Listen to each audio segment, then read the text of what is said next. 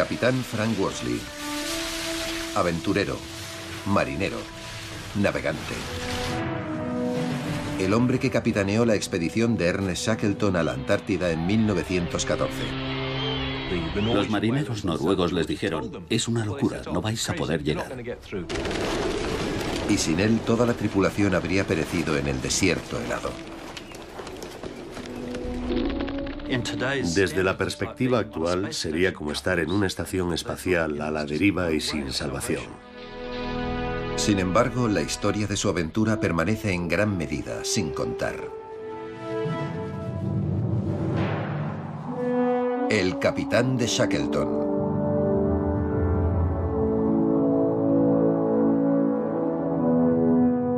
Londres, 1914. El capitán Frank Worsley se despertó de un sueño extraño.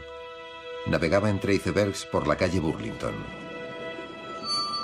Es tan vívido que decide tenerlo en cuenta. Es una decisión profética. En la calle Burlington, Worsley se encuentra al conocido explorador Sir Ernest Shackleton, que está contratando a la tripulación para una expedición que cruzará el continente antártico. Un viaje que no se ha intentado jamás. Los primeros exploradores fueron como los astronautas de su época. Para el capitán Frank Worsley, su vida fue una aventura y la Antártida la última frontera. Una oportunidad que no podía perderse. Shackleton había estado dos veces en la Antártida. Se quedó a un paso del Polo Sur en 1909, por lo que fue nombrado caballero. Fue muy famoso. Enormemente ambicioso y con un gran ego. Un explorador. Un aventurero. Worsley impresiona al famoso explorador. Worsley rezumaba entusiasmo por las cosas. Y creo que Shackleton reconoció en él a alguien que animaría enormemente a una expedición.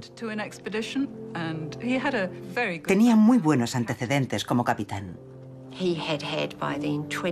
Contaba con 25 años de experiencia en el mar.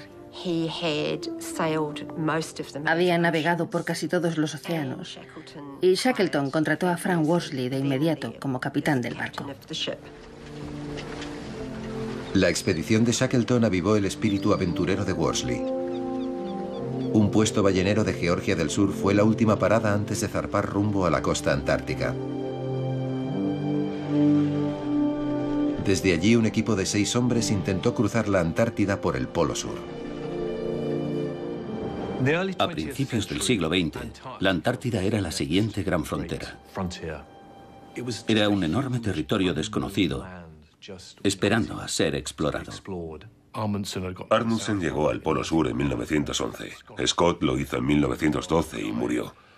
Cruzar la Antártida era el último gran desafío en el último confín de la Tierra.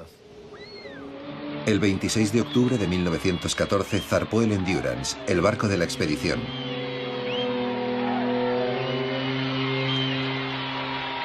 A bordo iba una tripulación de 28 hombres, incluido el fotógrafo Frank Harley, quien documentará la expedición. Es el inicio del verano y todo va según lo proyectado. Pero hace mucho más frío de lo habitual. En Georgia del Sur, los noruegos advirtieron a Shackleton de que el estado del hielo hacia el sur era peor de lo normal y le aconsejaron con vehemencia que no fuera.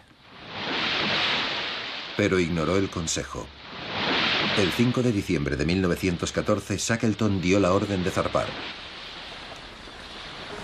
Al principio las cosas fueron bien. Las advertencias de los balleneros parecieron equivocadas. Pero pasados tres días y 1.600 kilómetros más al norte de lo esperado, el Endurance encuentra témpanos de hielo.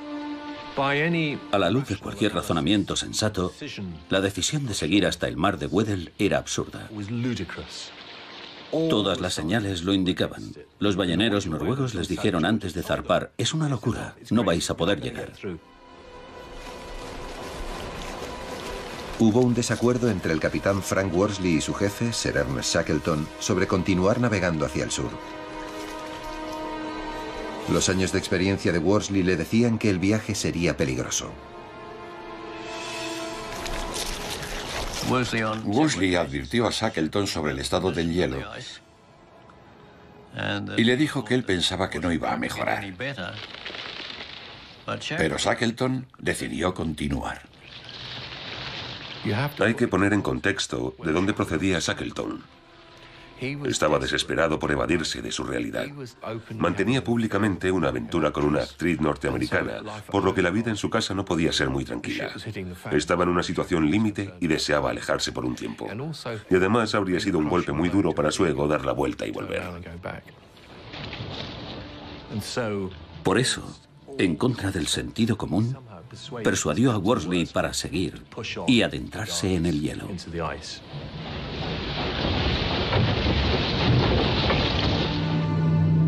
Sortear los témpanos de hielo es difícil. La expedición comenzó a retrasarse en su programa. Pero el cruce planeado del continente solo podía lograrse durante el verano antártico. La idea de Worsley era bajar a tierra a la primera oportunidad. Pero para acortar el viaje por tierra, Shackleton decidió continuar lo más posible hacia el sur. Shackleton no quiso ir hasta un punto de la costa que pudieron ver y siguió adelante. Y Worsley, por supuesto, no tenía mucha autoridad ante la ambiciosa naturaleza del sueño de Shackleton de cruzar el continente. Es la segunda vez que Shackleton decide ignorar el consejo de su capitán. Una decisión que tendrá graves consecuencias. A falta de solo 96 kilómetros para llegar a su destino, el avance se detuvo por completo. El hielo se cerró alrededor del Endurance. Estaban en pleno verano, pero el mar de hielo se extendía hasta donde alcanzaba la vista. Worsley jamás criticó a Shackleton por meterlos en esta terrible situación. Parecía sentirse inclinado a ver las cosas con optimismo. De las notas de Worsley. Por lo tanto, nos detuvimos por un tiempo para ver si el hielo se abría por fin cuando el viento del noreste cesara.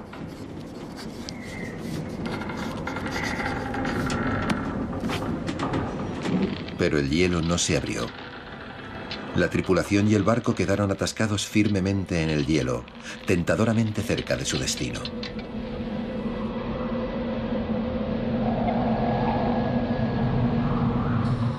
Creyeron que era solo una espera temporal. Pudieron dedicarse al mantenimiento del barco. La expedición iba a estar parada y se retrasaría. Pero Shackleton nunca admitió la gravedad de la situación. Durante un mes no cambió nada. Entonces divisaron aguas abiertas en la distancia. La tripulación hizo un esfuerzo hercúleo por liberar el barco, picando y eliminando el hielo durante dos días completos con la esperanza de alcanzar mar abierto antes de que volviera a cerrarse.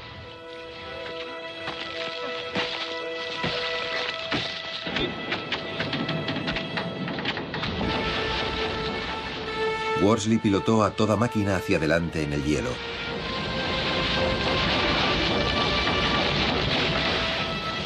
Pero era demasiado espeso. Se vieron obligados a abandonar esta última apuesta desesperada por la libertad. Finalmente, el hielo se cerró por completo a su alrededor.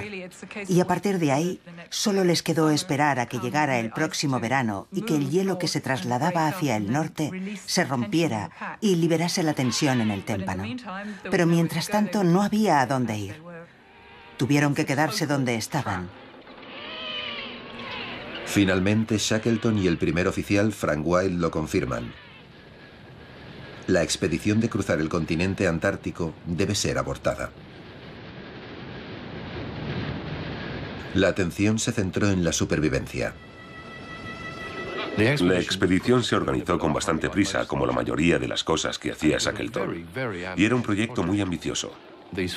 Estos hombres iban a adentrarse 2.900 kilómetros en un territorio casi desconocido.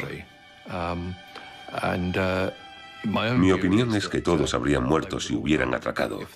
Casi con seguridad no habrían sobrevivido.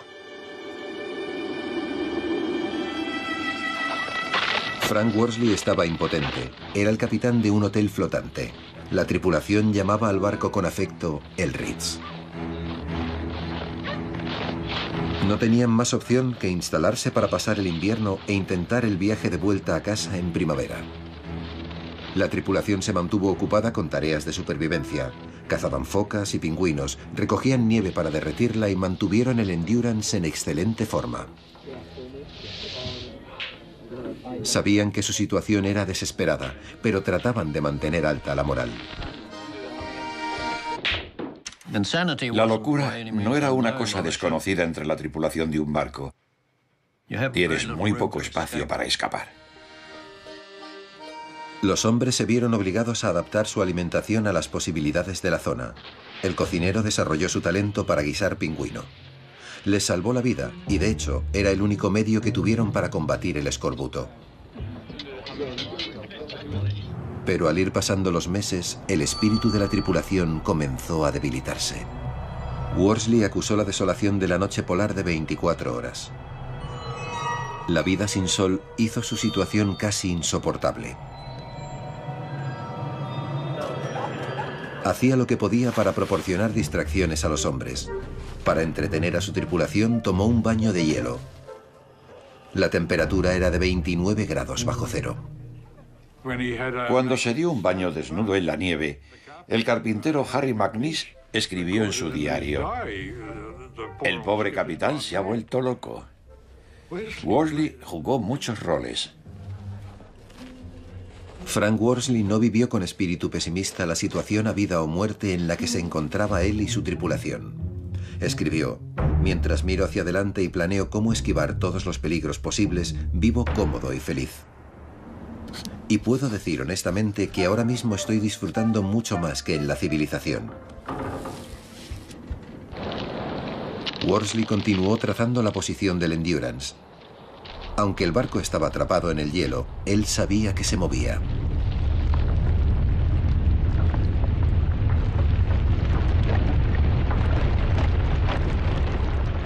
En el mar de Weddell se produce lo que llaman un giro, una corriente que rota en el sentido de las agujas del reloj.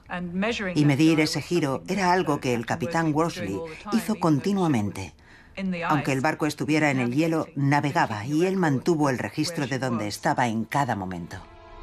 El espíritu optimista de Worsley no se doblegaba ante las adversidades y ni se planteó la posibilidad de perder el barco. Aunque estos témpanos de hielo son muy grandes, continúan moviéndose en el giro. A veces van a la deriva unos sobre otros. La presión aumenta y aumenta.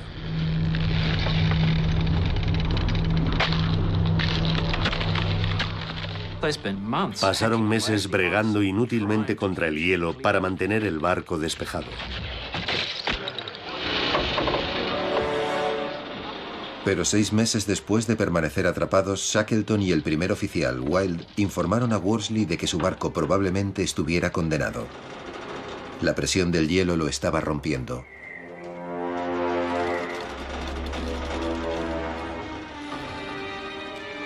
Worsley escribió, mi barco estaba siendo destruido y yo no podía hacer nada por salvarlo.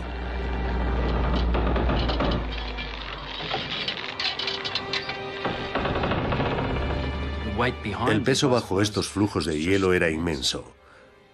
La presión alrededor del barco era demasiado fuerte y empezó a ladearlo, y al ser un buque de madera comenzó a romperse.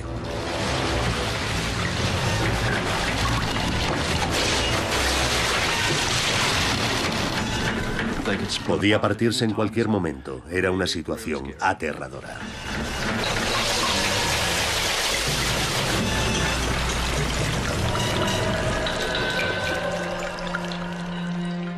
Por fin Worsley y sus hombres se vieron obligados a enfrentarse a una dura realidad. Pronto serían náufragos en un océano de hielo. Creo que sufrió enormemente al saber que iba a perderlo.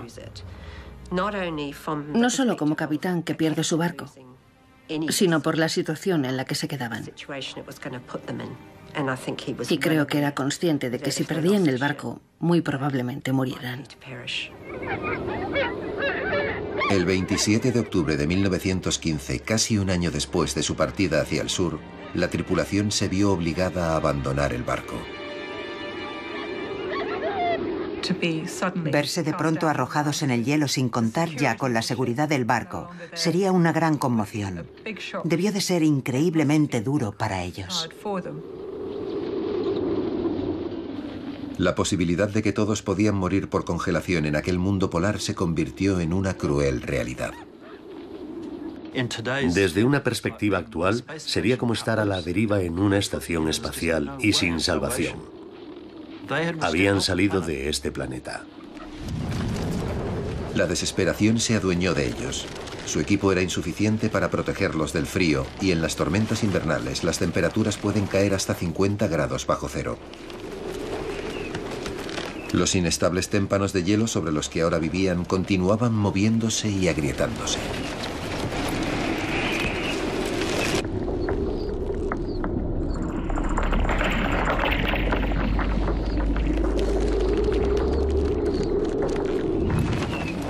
Imaginen a ese grupo de hombres sobre una corteza de hielo fina, tal vez de 91 centímetros de espesor, sobre un océano de 150, de 1500 metros de profundidad. Las corrientes oceánicas y las olas hacen que se rompa y se agriete, formando grandes crestas y remolinos. Aterrador. Por primera vez, Worsley consideró que los obstáculos que se les presentaron podían ser infranqueables. Solo había una mínima esperanza de supervivencia, aunque no se permitieron a sí mismos sucumbir a la desesperación. Worsley trató constantemente de idear la forma de salir del aprieto. Creía que debían esperar a que el témpano de hielo se moviera hasta aguas abiertas y navegar en los botes salvavidas hasta alcanzar un puerto seguro. Pero Shackleton tenía otro plan. Quería dirigirse hacia la isla Polet, que Worsley calculó que estaba situada a 550 kilómetros hacia el norte de su posición. Para hacer este increíble viaje solo pudieron llevarse lo absolutamente esencial. McNish, el carpintero, tenía un gato y lo quería mucho. También era la mascota para el resto de los hombres. Fue el primer animal que desapareció, porque no podía tomar parte en el rescate, ni podían llevarse otra boca que alimentar.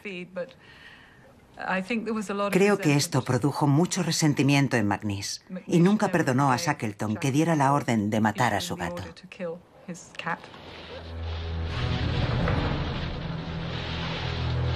El plan de Shackleton requería que los hombres arrastraran los botes salvavidas hasta el mar abierto. A pesar de haber sacrificado hasta el extremo sus posesiones, cada bote pesaba más de una tonelada.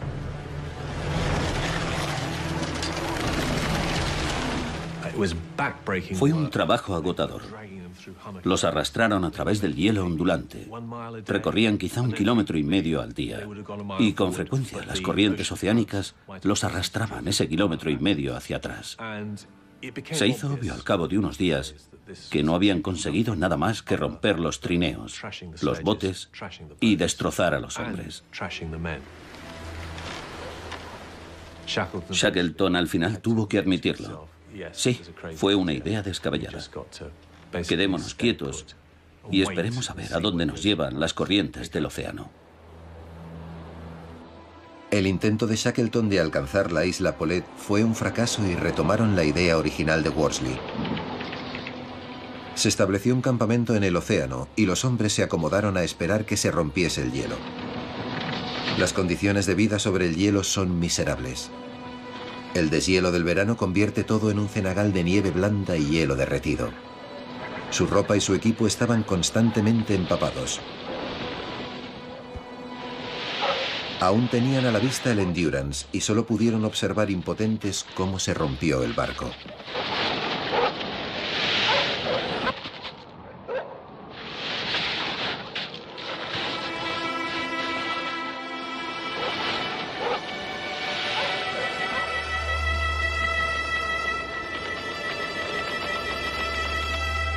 Por fin el Endurance se hundió bajo el hielo.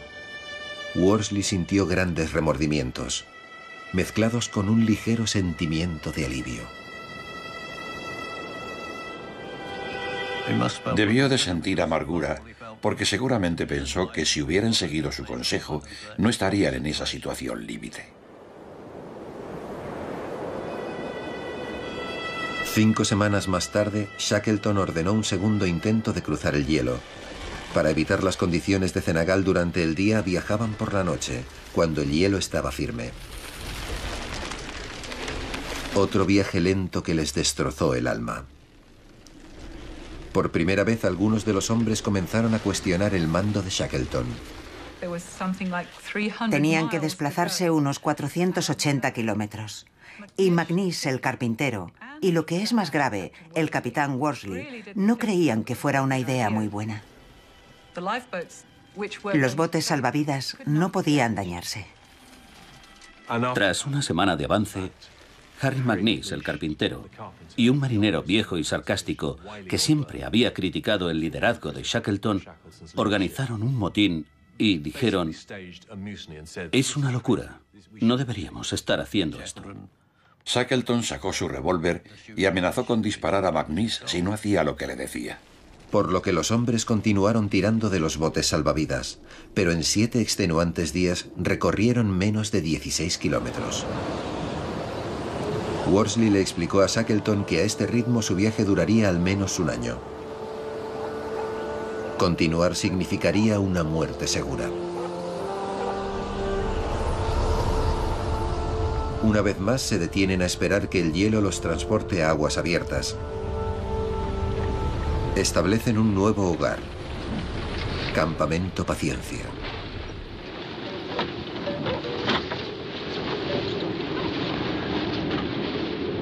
Ha pasado cerca de un año desde que quedaron atrapados.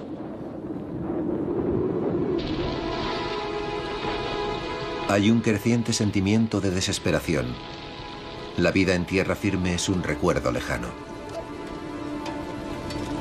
Ante la inminente muerte por hambre ya no pueden dar de comer a los perros y no tienen otra opción más que dispararles y comérselos. Esta es una decisión tan perturbadora que se sienten peor que ante cualquier otra cosa que los hombres hayan tenido que soportar hasta ahora.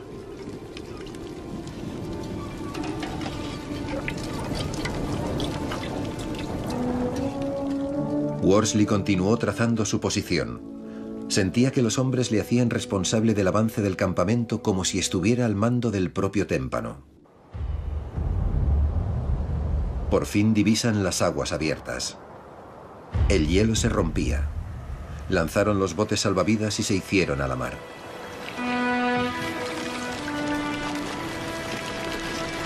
Pero aquellos 15 meses en el hielo les hicieron perder a algunos hombres su sentido del equilibrio en el mar. La temperatura caía y los botes salvavidas sufrían la amenaza constante de ser aplastados por los icebergs.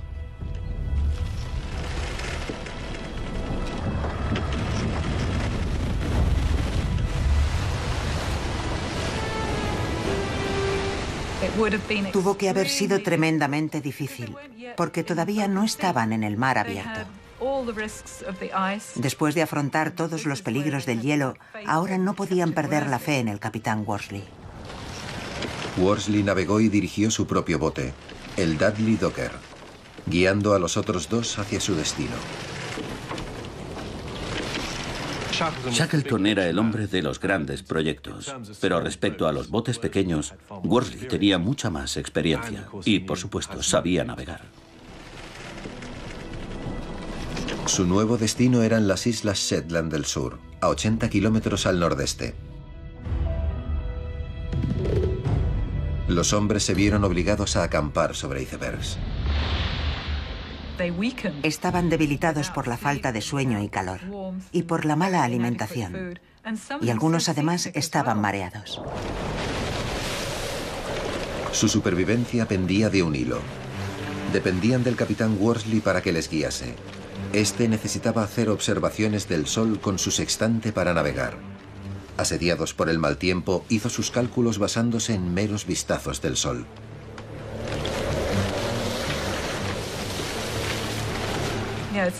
Es todo un arte. Se necesita una habilidad enorme para lo que llaman establecer el sol sobre el horizonte. Si vas en un bote que va saltando de ola en ola, el horizonte está por todas partes. El sol está en tu sextante porque lo ves a través de un espejo ahumado. Este pequeño punto verde está saltando a tu alrededor y tienes que conseguir dos observaciones para saber dónde estás. Después de tres días en el mar, Worsley hizo un descubrimiento perturbador. Sus cálculos indicaban que las corrientes los habían empujado 45 kilómetros hacia atrás, hacia su punto de partida. Cambiaron el rumbo y se dirigieron a la isla Elefante. Era su única esperanza, pero navegar hasta la diminuta isla requería a un genio de la navegación. La isla Elefante es un punto. Es como un grano de arena en una playa. Es un trozo de roca que sobresale del océano. Pasaban los días y algunos miembros de la tripulación se esforzaban por mantenerse cuerdos. Para poner a prueba aún más su frágil estado mental, las orcas navegaban por debajo de los botes. Eso tuvo que ser aterrador, y la duración del día se iba cortando, lógicamente. Cada día la temperatura iba bajando y bajando, y eso lo hacía aún peor. Contra todo pronóstico, los 28 hombres continuaban luchando por su supervivencia. Tras cinco días, el suministro de agua potable se agotó. La temperatura bajó aún más y la tripulación se congelaba. Para aliviar su terrible sed bebían sangre de la carne cruda de foca. Hay un estado emocional en el que es fácil caer cuando todo se vuelve desalentador. La vida ya no parece tan importante. Ahí es donde el liderazgo es algo clave. El capitán Worsley estuvo al timón durante 40 horas seguidas. Tuvieron que doblarlo hacia atrás para enderezarlo y que pudiera dormir, porque físicamente se había quedado congelado en forma de V por aferrarse al timón. Algunos de los hombres se rindieron, su espíritu estaba quebrado. Su futuro parecía sombrío y les invadía una sensación de condena. Entonces avistaron la isla Elefante, pero antes de poder llegar a tierra, se desata un vendaval pierden la tierra de vista.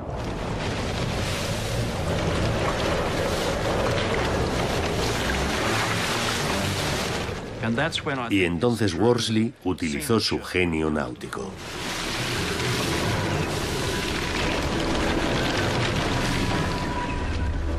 Tras 15 meses viviendo en el hielo y 7 terribles días en el mar, los 28 hombres tocaron tierra el 15 de abril de 1916.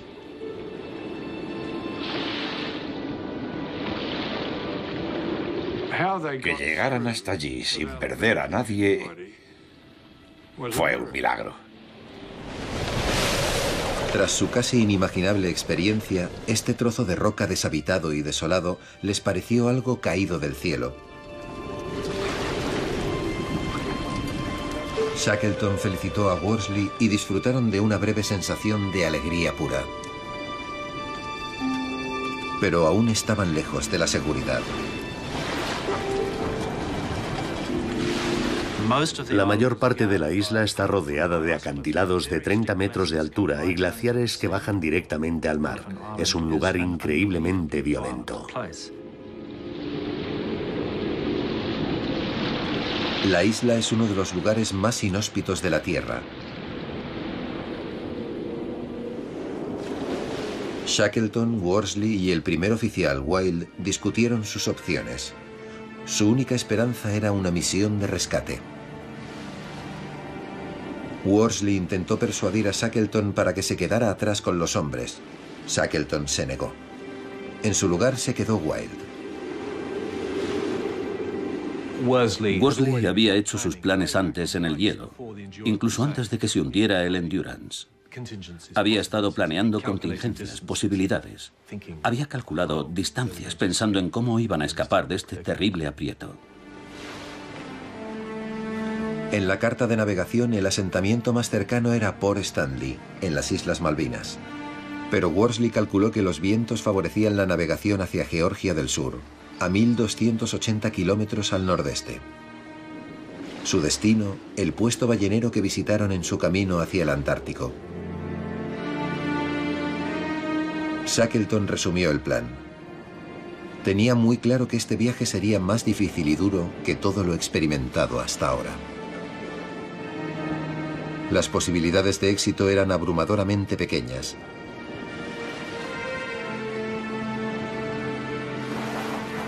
Pero a pesar de las dificultades, todos y cada uno de los hombres se ofrecieron voluntarios para la misión. Eligieron cuatro para unirse a Shackleton y Worsley, McNeese, el carpintero, John Vincent y dos irlandeses, el joven Tim McCarthy y Tom Green. El destino de los 28 hombres estaba en manos de estos pocos elegidos. Shackleton sabía ser muy persuasivo. Tenía una habilidad asombrosa para reunir a un grupo de personas y alentarlas para que se dirigieran hacia grandes peligros y asumieran riesgos colosales y mantenerlos junto a él. El James Caird es el elegido para el viaje. Con 6 metros y 85 centímetros de eslora, era el mayor de los tres botes salvavidas.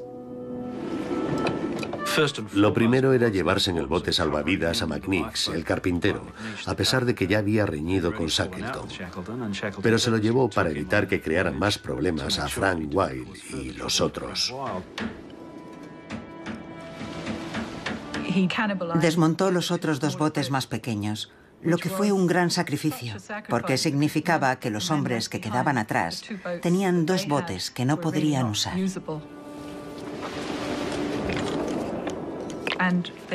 Y lastraron su bote con mucho más peso. Shackleton lo quería muy lastrado, Worsley no, pero la palabra de Shackleton ganó. Una vez más el consejo de Worsley se ignoró y los deseos de Shackleton prevalecieron. La noche anterior a la partida del equipo de rescate, Worsley, Shackleton y todos los hombres lo celebraron con vino hecho de jengibre, azúcar y alcohol metílico. Era una despedida difícil. Worsley sabía que sería puesto a prueba hasta el límite. Creo que Frank Worsley sabía que era algo muy arriesgado. En cuanto a las probabilidades de lograrlo, tal vez tenían un 10% pero también sabía que era la única posibilidad. El destino de todos estaba ahora en manos de Worsley y de esta improbable misión de rescate. Y de sobra sabían que era muy probable que no volvieran a verse más.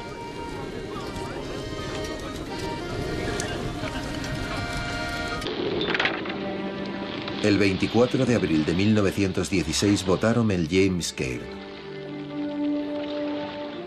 Los hombres que quedaron atrás en la desolada isla Elefante estaban condenados a aguardar y a esperar, sin modo alguno de saber el progreso de su rescate. El primer oficial Wilde tenía una tarea difícil. Su papel podría reducirse a una prevención de suicidios. Worsley escribe, era consciente de que no importaba qué adversidad enfrentáramos, nos estábamos embarcando en una aventura.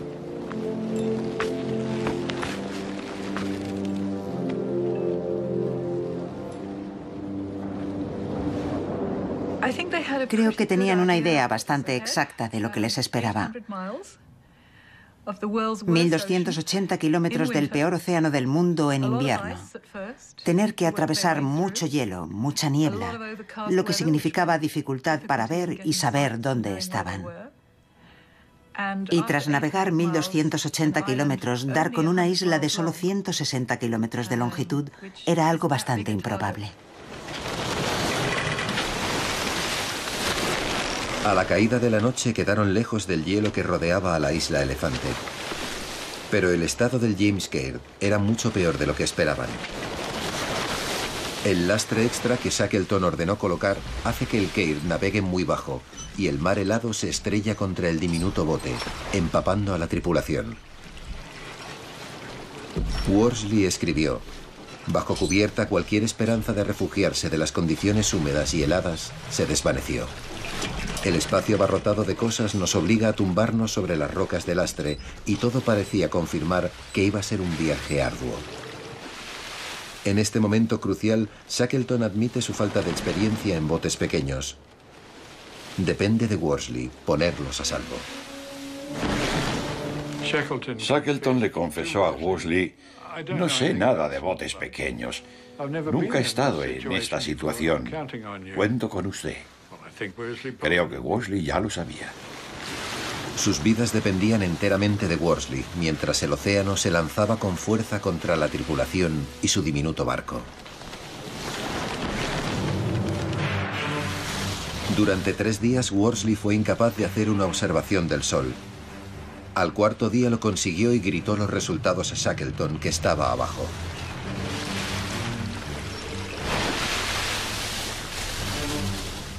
Y luego bajó y se sentó sobre las piedras del lastre, con el agua empapando todo, e hizo los cálculos para asegurarse de que estaban en el camino correcto.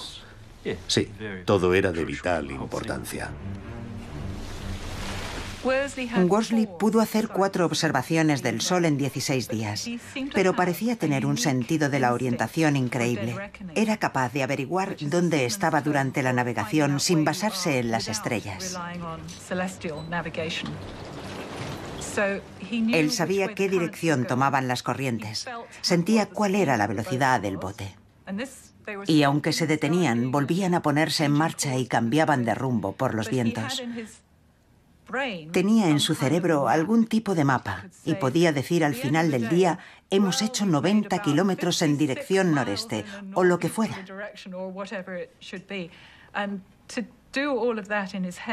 Y hacer todo esto de cabeza es un don mucho mayor que una ciencia.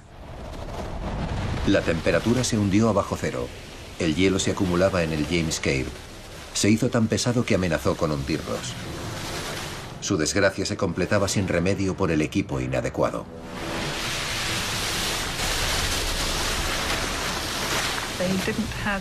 No tenían ropa adecuada. No tenían botas para navegar ni guantes impermeables. Estaban en un bote que se encaramaba sobre olas de hasta seis metros. Pudieron haber perdido con mucha facilidad a un hombre. Las condiciones eran tan extremas que cada hombre solo podía trabajar en cubierta durante unos pocos minutos seguidos. Debía de dolerles mucho el cuerpo. El poco descanso que tenían lo hacían tumbándose sobre piedras.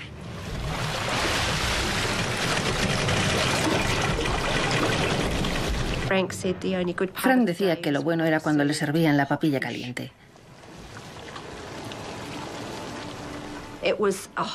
Era leche caliente mezclada con pemmican, un alimento alto en grasas, algo muy necesario para combatir la hipotermia. E incluso la simple acción de comer resultaba complicada, porque para tragar necesitaban mantenerse erguidos y estaban doblados debajo de la cubierta. Al no poder sentarse erguidos, los hombres sufrieron calambres de estómago.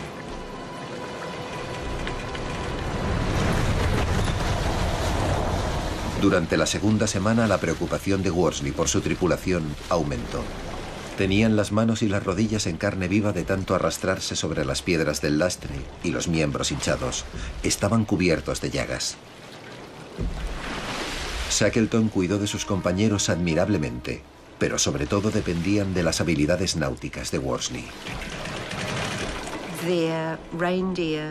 Sus sacos de dormir de piel de reno estaban tan empapados de agua salada que el pelo se desprendió de la piel. Los tenían en la comida y en la boca. La incomodidad era extraordinaria, por no mencionar el frío. No consiguieron llegar a sentir algo de calor. Aquella situación tocó fondo cuando descubrieron que uno de los barriles lleno de agua potable tenía una fuga. Ya no era agua potable, era una mezcla salada. Todo se ponía en su contra. Magnis sufre un grave congelamiento por exposición al frío.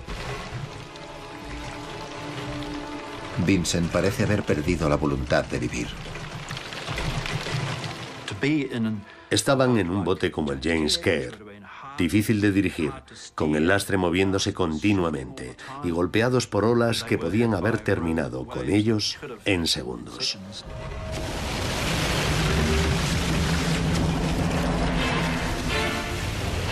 En 16 días, Worsley solo consiguió hacer cuatro observaciones del Sol con el sextante, pero confiaba en que estaban cerca de su destino. Había calculado que Georgia del Sur estaba situada delante de ellos a solo 24 kilómetros. El 7 de mayo, Tim McCarthy por fin divisó las cimas de Georgia del Sur.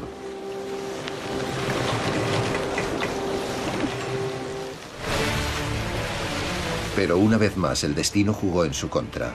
El tiempo cambió. Durante dos días lucharon contra la tormenta. Temían ser aplastados contra la costa por la que tanto habían luchado por alcanzar.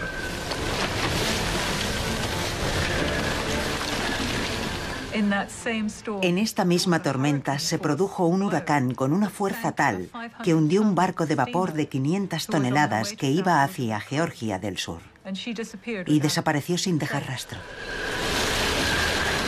Durante dos largos días, Worsley y su tripulación lucharon para sobrevivir a la tormenta. Les absorbió sus últimas fuerzas.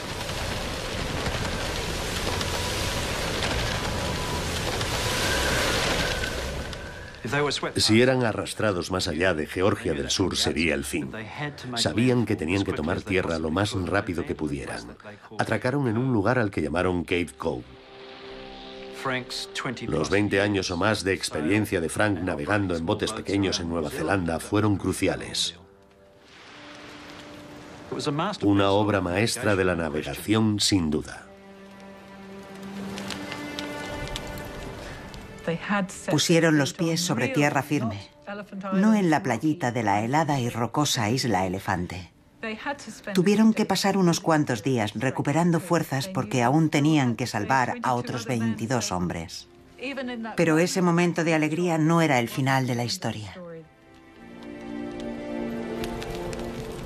La tormenta los obligó a atracar en la costa oeste de Georgia del Sur, pero el puesto ballenero más cercano estaba en la bahía Stromness en el lado oriental de la isla. Navegar hasta Stromness significaba un viaje de 240 kilómetros alrededor de la tempestuosa costa de la isla. Pero la tormenta había dañado gravemente el James Caird. Vincent y McNeese estaban moribundos. Volver al mar sencillamente no era posible. Su única posibilidad era una agotadora marcha a través del interior inexplorado de la isla. Shackleton, Tom Crean y Worsley intentaron encontrar ayuda en el puesto ballenero al otro lado de Georgia del Sur. McCarthy se quedó atrás para cuidar de McNeese y Vincent.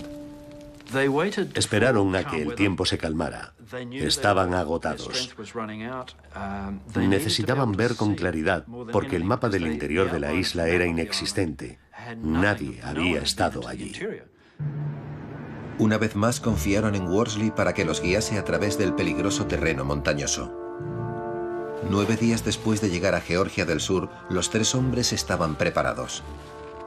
Extenuados, hambrientos y mal equipados para una expedición alpina, partieron en mitad de la noche.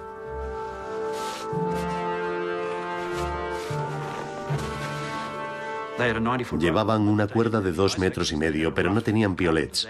Llevaban azuelas de carpintero con las que podían ayudarse, pero... Y llevaban tornillos del bote salvavidas clavados en las suelas de los zapatos, a modo de crampones para agarrarse al hielo, pero no eran montañeros, unas condiciones terribles. Encontrar la ruta en estas condiciones era agotador. Nadie había cruzado la isla nunca y las montañas que tenían delante se alzaban unos 2.740 metros.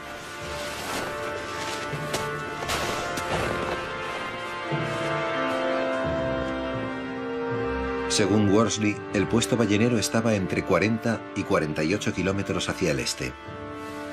Esto significaba una marcha extenuante a través de un territorio inexplorado. Al no conocer el terreno, los hombres exhaustos a menudo se vieron obligados a desandar sus pasos. Cada vez que esto ocurría era un golpe devastador que ponía a prueba su determinación de continuar. El terreno era agotador. Tenían que parar a descansar cada 20 minutos, pero no podían permitirse dormir. En su estado de agotamiento podrían no despertar nunca.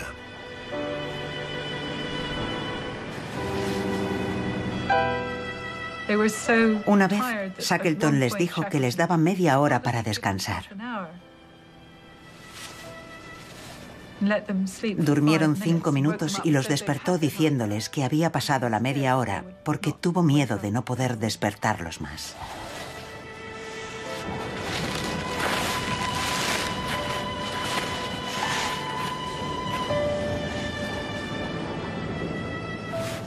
Siguieron adelante.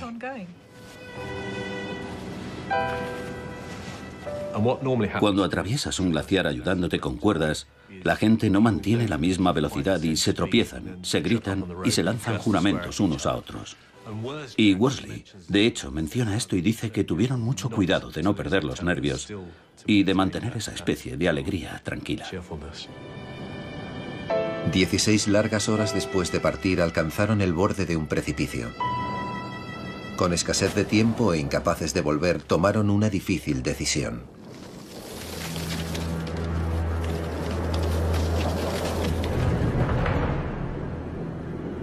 Sin tener ni idea de lo que había abajo, decidieron ayudarse con la cuerda y lanzarse al vacío.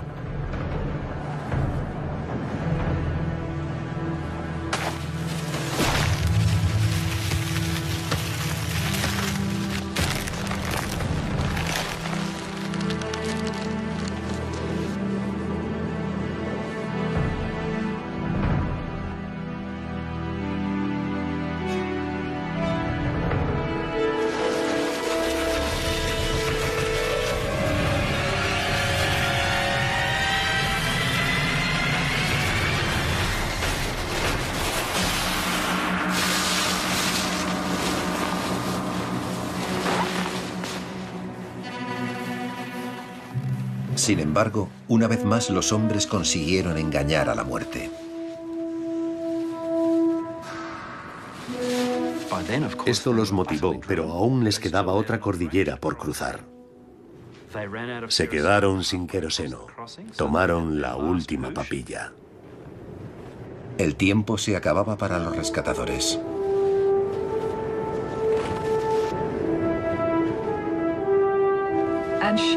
Entonces Shackleton oyó el sonido del silbato del puesto de Stromness, o eso pensó. No estaba seguro.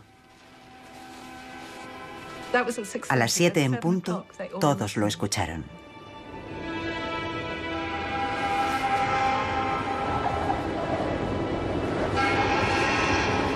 Y ahí estaba otra vez, el silbato que llamaba al trabajo.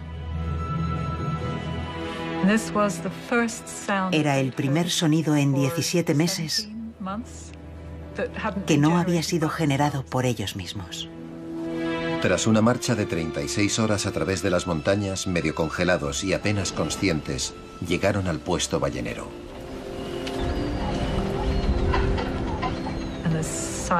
La visión de los barcos, edificios y los hombres del puesto ballenero significaba la seguridad. Y significaba el rescate y la salvación de los otros 22 hombres, pues el peso de tener sus vidas en sus manos fue lo que hizo seguir andando a Shackleton, Worsley y Crean. Aquella noche Worsley no se detuvo a descansar. No se detuvo a disfrutar del hecho de haber completado este viaje. Se dio la vuelta y se fue a recoger a sus tres compañeros del James Cage. Y en cuanto pudieron organizar un equipo de rescate para los hombres que habían dejado en la isla Elefante, Worsley y Shackleton partieron de nuevo. Pero las condiciones les obligaron a abandonar tres distintos intentos.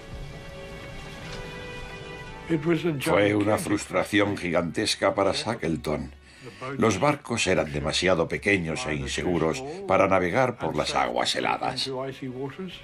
Intentó conseguir ayuda de Gran Bretaña. Nadie quiso prestársela. Shackleton sabía que los hombres varados en la isla Elefante debían de estar en un estado terrible. Temía que si morían sería acusado de haberlos abandonado. Partieron en un cuarto intento, esta vez en un pequeño barco chileno, el Yelcho,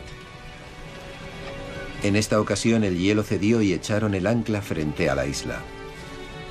Habían pasado 128 días desde que abandonaron sus orillas. Después de pasar el invierno en un trozo de roca en medio del océano, parecía improbable que sus compañeros hubieran sobrevivido. La roca podía haber sido totalmente arrasada durante las tormentas del invierno. No hay duda de que muy bien podría no haber supervivientes. Vieron a un grupo de hombres congregándose en la playa, saliendo de sus refugios improvisados.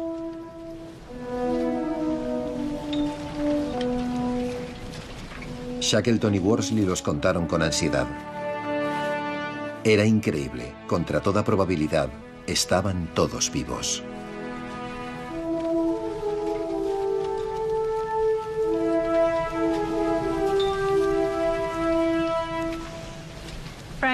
Frank nunca perdió la esperanza.